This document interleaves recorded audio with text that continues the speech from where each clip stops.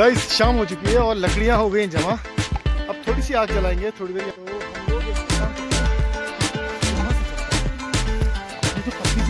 है।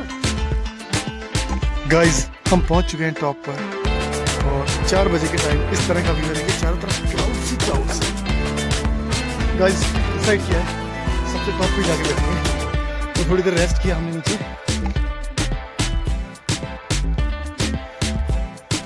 तो गाइस ताहिर आ गया। दिन के दो बज के तीस मिनट हो रहे हैं और हम लोग आ चुके हैं प्यारी सी लोकेशन पे। तो चलिए आपको दिखाते हैं इस लोकेशन तो गाइस चल रहे हैं चूहे को देखने फिर से पकड़ा और ये वो जगह है जहाँ हम कई बार बैठे और यहाँ से सनसेट बहुत ब्यूटीफुल दिखाई देता है। बट आज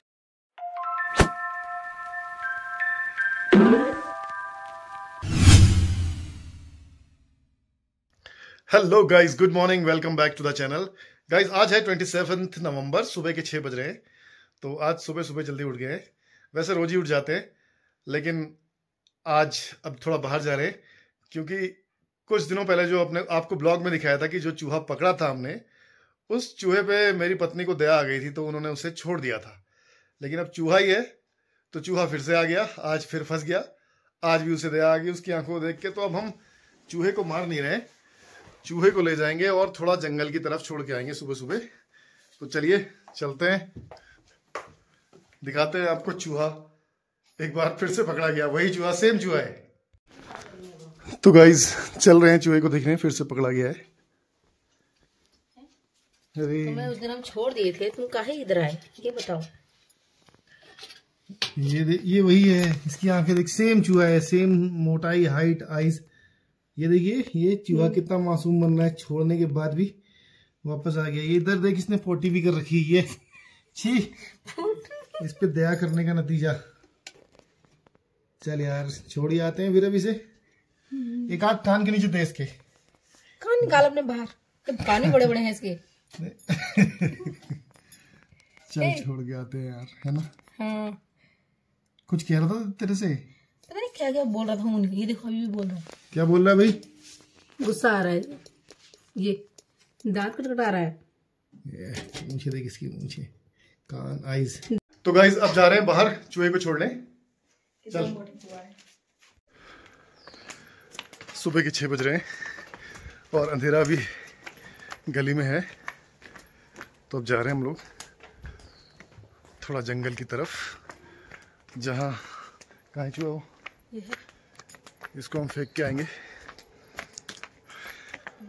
ये हमारे घर की रोड और मॉर्निंग टाइम है, हल्का हल्का उजाला और ये साई टेंपल।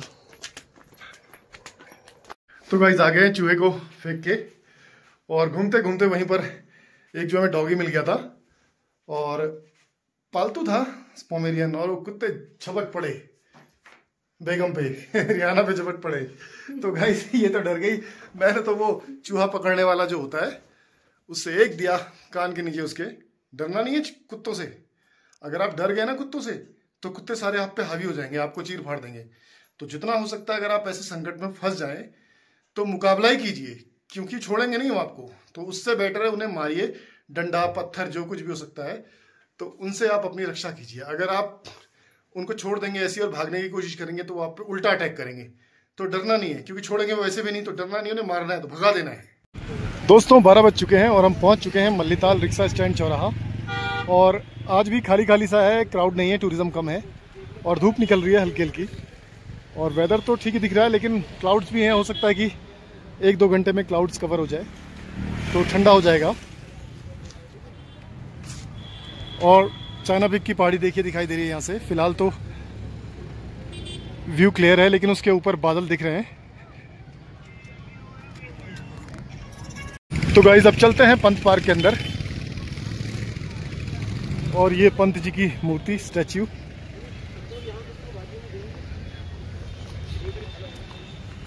तो गाइज़ हम आ चुके हैं पंत पार्क के अंदर। और देखिए, पंत पार्क में भी बहुत ज़्यादा क्राउड है नहीं खाली खाली सा है। तो वैसे थोड़ा सा भीड़ यहाँ हल्की सी दिखती है क्योंकि यहाँ से रैना देवी टेंपल को रास्ता जाता है, भोटिया मार्केट टिपटिम टिप्टन मार्केट और बोटिंग के लिए ये रास्ता है। चलते हैं लेक के पास, थोड़ा लेक देख के आते हैं। और सामने नैनीताल की मस्जिद दिखाई दे रही है और ये सामने है कैपिटल सिनेमा, नैनीताल का इकलौता सिनेमा हॉल। और अब हम पहुँचने वाले हैं उस जगह पर जहाँ से अक्सर आपको नैनीताल दिखाते हैं और यहाँ से बहुत खूबसूरत नैनीताल दिखाई देता है गाइज़ गाइज़ पतझड़ का टाइम है, पत्ते झड़ चुके हैं और कुछ ही पत्ते बचे हैं। आपको मैंने हर दिन दिखाया है, कभी पत्ते थे इसमें और अब ये नए पत्ते आएँगे इसमें। तो देखिए बोटिंग में भी बोट स्टैंड में भी काफ़ी कम भीड़ है। तो हो सकता है दिन में भीड़ हो। आमतौर पे यहाँ भीड़ तो रहती है। एक देखिए, बच्चों का ग्रुप आया। तो आजकल ऑफ़ सीज़न है और भीड़ भाड़ कमी है। सैटरडे संडे वीकेंड के टाइम पे भीड़ भाड़ है और ये नगर पालिका परिषद की बिल्डिंग और पीछे चाइना पिक का पहाड़ और अब चलते हैं वापस से। और ये देखिए, ये तो सदाबहार वन है, हमेशा ग्रीन रहते हैं और ये चिनार का पेड़ जो मैं आपको अक्सर दिखाता हूँ।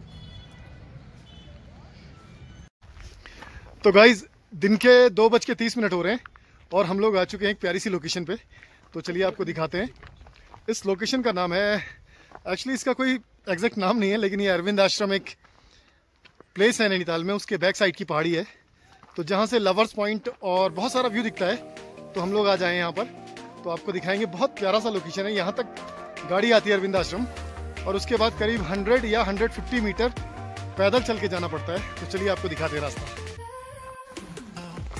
तो इस लोकेशन के लिए सबसे पहले आप अरविंद आश्रम आते हैं। अरविंद आश्रम आने के लिए आपको नैनीताल के बारह पत्थर आना पड़ता है। जैसे आप बारह पत्थर पहुँचते हैं, बारह पत्थर से एक रास्ता ऊपर जाता है। अगर आप नैनीताल से आ रहे हैं तो लेफ़्ट टर्न लेना पड़ेगा। और अगर कालाडूँगी से आ रहे हैं तो राइट टर्न लेना पड़ेगा। उसके बाद अरविंद आश्रम पर गाड़ी खड़ी करके आपको पैदल पैदल इस तरह से चलना होगा। फ़ोन रह गया? तो फ़ोन लिया फिर? है ना? गाइस ताहिर अपना फ़ोन भूल गया है तो फ़ोन लेने गया है। बहुत दूर नहीं है, पास ही में गाड़ी पार्क है। तो दोस्तों, आज जो है वेदर बिल्कुल क्लाउडी हो रहा है तो धूप नहीं है। मॉर्निंग टाइम में धूप थी, लेकिन इस समय धूप जा चुकी है और पीछे देखिए फॉगी फॉगी पूरा। तो अब हम यहाँ से चलेंगे आगे ताहिर का वेट करते हैं। फिर आपको दिखाते हैं हम किस जगह जाने वाले हैं। तो गाइस ताहिर आ गया। और अब चलते हैं आगे का। दिखाते हैं आपको। तो गाइज़ यहाँ पहुँच के बिल्कुल आपको ऐसा लगेगा जंगल में पहुँच गए, क्योंकि देखिए, चारों तरफ़ आपको फॉरेस्ट ही फॉरेस्ट दिखाई दे रहा है। और बिल्कुल जंगल में जैसी पगडंडी होती है पहाड़ों में, वैसी ही पगडंडी है। और आप जितने भी यहाँ पेड़ पौधे देख रहे हैं, इनमें से मैक्सिमम जो पेड़ पौधे हैं, वो कोई ना कोई जड़ी बूटी है। और उन जड़ी बूटियों का कोई ना कोई उपयोग होता है, जो लोग जानते हैं, वो लोग उसको यूज़ करते हैं। और गाइज़ अब हम थोड़ा ओपन एरिया में पहुँच रहे हैं। और देखिए, ऐसा व्यू है यहाँ से। थोड़ा फॉगी है अदरवाइज़ बहुत अच्छा दिखता। है सामने देखिए, यहाँ से भी कैमल्स बैग दिखता है। और उसके ऊपर भी क्लाउड्स हैं। और नीचे देखिए रोड ये है लवर्स पॉइंट जहाँ पर हम अक्सर आए हैं और आपको अपने वीडियो में दिखाया है। यहाँ से घोड़े भी चलते हैं। और ये नीचे है चार खेत एडवेंचर पार्क देखिए, कितना क्लाउड है गाइज़ नहीं तो व्यू बहुत अच्छा दिखता है। और बहुत अच्छा फील होता है यहाँ पर। तो हम सामने जाएँगे। सामने जाने के बाद हम पहाड़ी पर चढ़े चढ़ेंगे। और देखिए आज धूप भी नहीं है नहीं तो इतना बढ़िया व्यू दिखता है।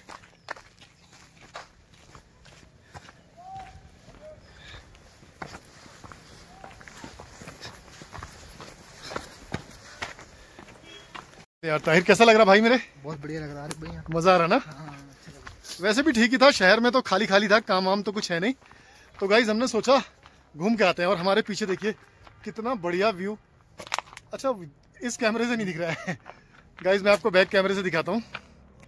ये देखिए, ये है कैमल बैक पीक नैनीताल की सेकेंड हाईएस्ट पीक बोलते हैं इसे। तो गाइज़ ये है वो लोकेशन हम थोड़ा ऊपर जाएँगे अभी पहाड़ी पर। और ये वो जगह है जहाँ हम कई बार बैठे हैं। और यहाँ से सनसेट बहुत ब्यूटीफुल दिखाई देता है। बट आज तो सन है ही नहीं, चारों तरफ़ क्लाउडी क्लाउड है। तो सनसेट तो हमें दिखेगा नहीं। और नीचे आप देख सकते हैं, ये जा रही है काला ढूँगी रोड, जो कि जिम कॉर्बेट नेशनल पार्क जाती है और दिल्ली, मुरादाबाद, हरिद्वार, इन जगहों पर जाती है। तो हम चलेंगे आगे की तरफ़। तो ताहिर चले। तो गाइज़ जंगल का एरिया और ये देखिए पत्थर कैसे अटके हुए हैं, ऐसा लग रहा है अभी स्लाइड कर जाएँगे नीचे।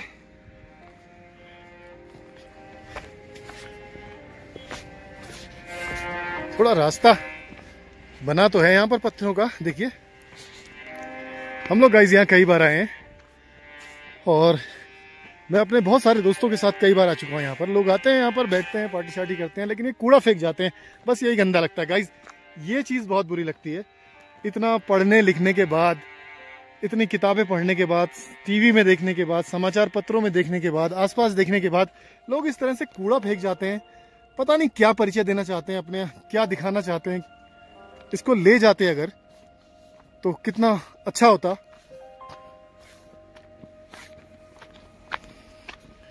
लेकिन कब आएगी समझ? चलिए, कभी तो आएगी, जब यहाँ पर कोई गार्ड खड़ा होगा और चालान करेगा। गाइज़ एक बात तो है, जब तक सख्ती नहीं होती ना, तब तक लोग कानून का पालन भी नहीं करते। क्योंकि लोगों में खुद सिविल सिविक सेंस नहीं है। या तो उनके घर वालों ने उन्हें सिखाया नहीं। मैं तो कह रहा हूँ, सबसे मेन चीज़ जो है, वो कहते हैं परिवार नागरिकता की प्रथम पाठशाला है। तो सबसे पहले मुझे लगता है कि जो परिवार के बड़े बुज़ुर्ग हैं या पेरेंट्स हैं, उन्हें बताना चाहिए कि आप कहीं जाएँ तो गंदगी ना करें, क्योंकि वहीं से आदमी सीखता है। अपना घर तो आप साफ़ कर लेते हैं, लेकिन दूसरा प्लेस जो है आप गंदा कर देते हैं। तो ताहिर इस बारे में आप क्या कहेंगे जो गंदगी फैला रखी है? बहुत गलत है गलत है ना? हाँ ऐसा होना नहीं चाहिए। तो आप कुछ कहना चाहेंगे हमारे व्यूअर से कि अगर ऐसी जगह आए तो आप प्लीज़ क्लीन रखें गंदा ना करें। साफ़ सुथरा रखें। थैंक यू अच्छा लगे। गुड बहुत अच्छी बात है। अब हम जाएँगे वो टॉप पीक पर पहाड़ी के पीक पर और वहाँ पर बैठेंगे। तो उसके लिए हमें चलना पड़ेगा थोड़ा। तो इस तरह से रूट तो है नहीं, लेकिन रूट बनाना पड़ेगा। तो गाइज़ बहुत अच्छा लगता है जब हम इस तरह से आउटिंग करने आते हैं कभी। नेचर के करीब आप जब भी जाएँगे तो आपको अच्छा ही लगेगा। और मोस्टली मैं यहाँ हिल्स में रहता हूँ तो अक्सर आपको इस तरह की चीज़ें दिखाता हूँ। तो पीछे देखिए, सूखी सूखी घास है। और ये अक्टूबर नवंबर के मंथ में ही होती है। इससे पहले बारिश का सीज़न था तो ग्रास जो थी वो ग्रीन थी। अब हम चढ़ने लगे हैं तो थोड़ी सांस फूलने लग गई।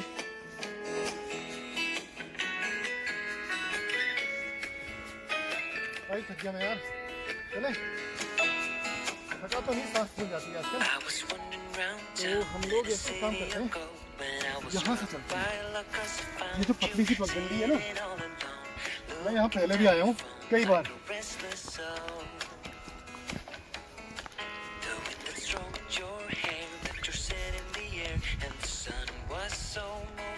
और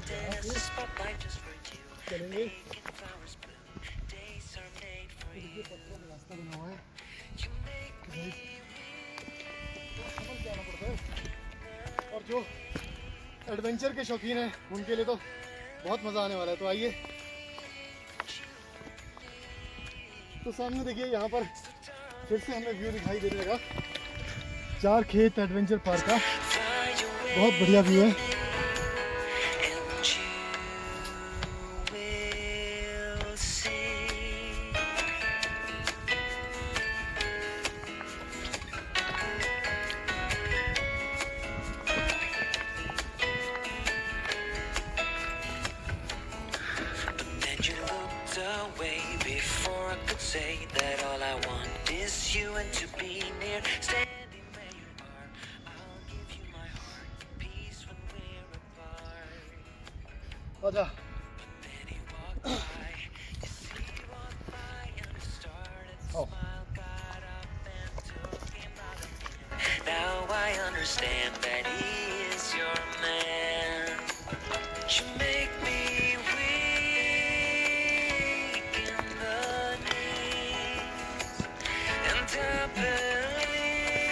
दोस्तों ब्लॉग में बने रहे। मज़ा आने वाला है ऊपर।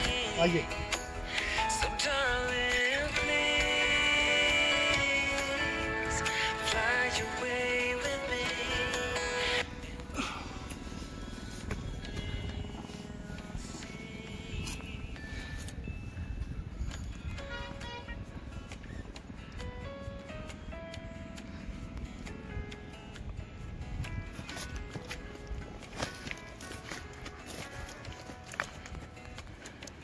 वाह, मज़ा ही आ गया।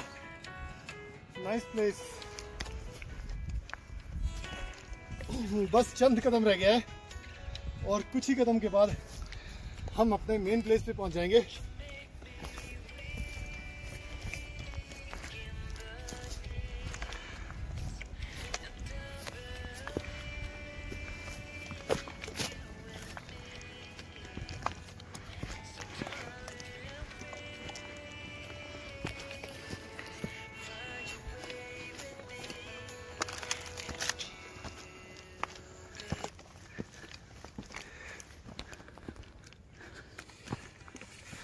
सांस फूल गई। गाइस फाइनली हम टॉप पर पहुँच गए टॉप से बस थोड़ा दूर रह गया ये टॉप है, लेकिन हम लोग यहीं बैठेंगे। उसके बाद फिर थोड़ी देर के बाद चलेंगे वहाँ पर और आपको दिखाएँगे और व्यू देखिए आप। क्या व्यू है?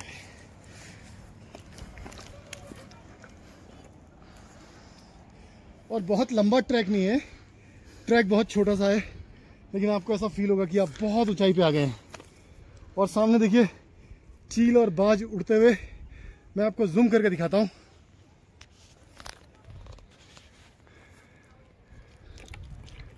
ये देखिए गाइस ये उड़ रहा है बाज। ये है हिमालयन बाज। और एक, दो हैं, दो। ये देखिए गाइस दो दिखाई दे रहे हैं आपको ये जूम करने पर। गाइस डिसाइड किया है। सबसे टॉप पे जाके बैठेंगे। तो थोड़ी देर रेस्ट किया हमने नीचे। और अब हम पहुँचने वाले हैं टॉप पर। और बहुत प्यारा सा व्यू है यहाँ का। और गाइज़ घास जो है देखिए सूखी सूखी है, क्योंकि रोज धूप निकलती है। लेकिन आज क्लाउडी वेदर हो गया। तो चल रहे हैं हम। यहाँ चलते चलते कैमल्स बैक के ट्रैक की याद आ गई। तो मैं गया था, तब मैंने वीडियो नहीं बनाया था। तो गाइज़ किसी दिन आपको चल के कैमल बैग का ट्रैक दिखाऊँगा मैं। तो अब हम पहुँच गए हैं टॉप पर। तो गाइज़ ये है टॉप और पीछे देखिए अरविंद आश्रम। बहुत ब्यूटीफुल सा है। और बादलों के पीछे हाईएस्ट पिक नैना पिक भी है। और ये कैमल बैक नीचे लवर्स पॉइंट और थोड़ा सा आगे बढ़ते हैं हम। तो यह चार खेत।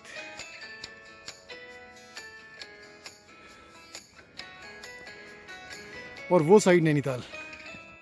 गाइस हम पहुँच चुके हैं टॉप पर। और चार बजे के टाइम इस तरह का व्यू है। देखिए, चारों तरफ़ क्लाउड्स ही क्लाउड्स अमूमन क्या होता है कि इस समय पहाड़ों में धूप निकलती है, लेकिन इस बार कभी कभी बहुत ज़्यादा बादल, घने बादल आ जा रहे हैं। चारों तरफ़ देखिए, बादल ही बादल है। क्लाउड्स ही क्लाउड्स हैं और सूरज भी देखिए बादलों के पीछे छिपा हुआ है। गाइज़ अब हम जलाने वाले हैं आग। थोड़ी सी आग जलाएँगे, उसके बाद आग बुझा के हम वापस नैनीताल जाएँगे। ठंडा होने लगा। गाइस शाम हो चुकी है और लकड़ियाँ हो गई जमा। अब थोड़ी सी आग जलाएँगे, थोड़ी देर यहाँ बैठेंगे सनसेट होने वाला है। देखिए पीछे, सूरज और सनसेट होता है तो ठीक है अदरवाइज़ क्लाउड आ जाएँगे तो फिर सनसेट नहीं दिखा पाएँगे आपको। तो चलिए आग जलाते हैं, फिर इंजॉय करते हैं। दिखाते हैं आपको। ठंडा बहुत हो रहा है, इसलिए हमने थोड़ी आग जला ली है।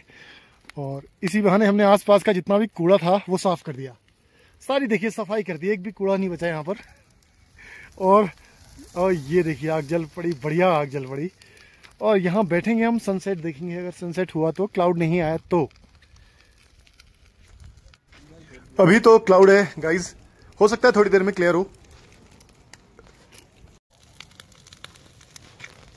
आग हमारी जल चुकी है और बहुत अच्छा लग रहा है क्योंकि थोड़ा ठंडा होने लग गया था तो थोड़ी आग जलाई। और गाइस सनसेट होने ही वाला है। थोड़ी देर में हो सकता है वेदर क्लियर हो जाए सनसेट दिख जाए हमें। शाम हो चुकी है और आग भी बुझ चुकी है। थोड़ी ही देर में अंधेरा होने वाला है और सूरज डूबने वाला है। थोड़ा सा वेदर क्लियर हो गया है तो मैं आपको बैक कैमरे से दिखाता हूँ। सन दिखने लगा है। सनसेट हो सकता है कि हमें सनसेट दिखाई दे।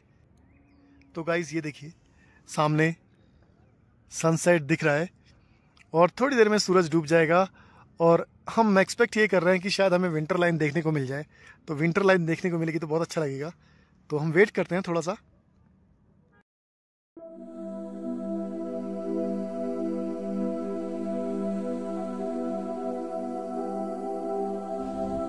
गाइस पाँच बज के बीस मिनट का समय हो चुका है और सनसेट हो चुका है। सनसेट हमने अभी आपको दिखाया। तो गाइस अब हम चलते हैं वापस यहाँ से और आग जलाई थी, आग बुझा दी पूरा। देखिए, पानी डाल दिया है, जिससे कि जंगल में आग ना लगे, पूरा बुझा के अपना कूड़ा जो है, पूरा समेट के हम लोग जो बैग के अंदर लेके जा रहे हैं। और मेरे साथ ताहिर हैं इन्होंने भी पूरा जो है, जितना भी कूड़ा था हमारा, उसके अलावा भी जो आसपास का कूड़ा था, हमने उसको बटोरा, जलाया और बैग में समेटा और हम इसको ले जाके अब डस्टबिन में डालेंगे। तो जितना भी हमसे हो सकता था, हमने साफ़ सफ़ाई की। उसके बाद अब हम जा रहे हैं। तो बहुत प्यारा प्लेस है मेरे पीछे देखिए, कितना प्यारा व्यू है गाइज़ तो उम्मीद करते हैं ये वीडियो आपको, ये ब्लॉग आपको पसंद आया होगा। और अगर वीडियो पसंद आए तो लाइक कीजिए शेयर कीजिए सब्सक्राइब कीजिए। मिलते हैं कल सुबह नए ब्लॉग के साथ। तब तक आप लोग अपना और अपनों का बहुत बहुत बहुत ख्याल रखिए और हमें दुआओं में याद रखिए। Good bye